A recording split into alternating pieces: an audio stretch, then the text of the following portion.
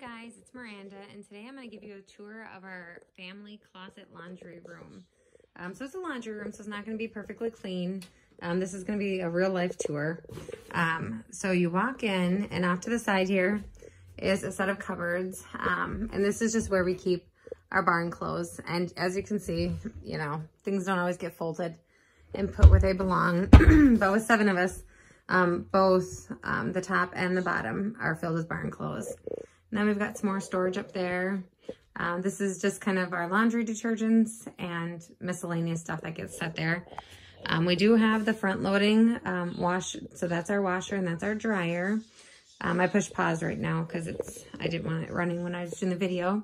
Um, we've got the, of course, um, sock basket that eventually maybe I should just throw them all away and start over. and then we have a mail stack. And this is our dirty laundry. So the kids put their clothes, or well, we all put clothes in the hampers. And then we have lots of hanging room.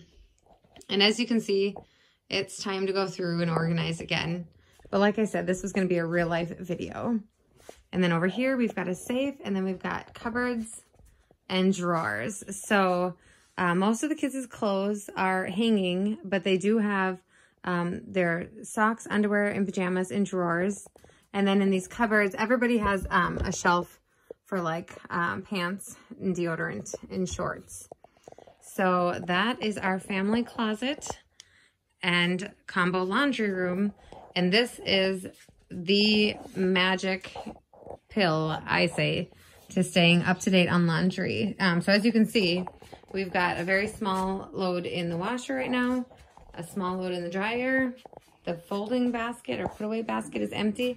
And the hampers are actually almost empty. So we are actually able to keep up on laundry since we have added this onto our house. And I would say every three to four months, um, we all come in here, we take down all of our clothes and empty our shelves um, and refold, go through, organize, get rid of things that the kids have outgrown, that sort of thing.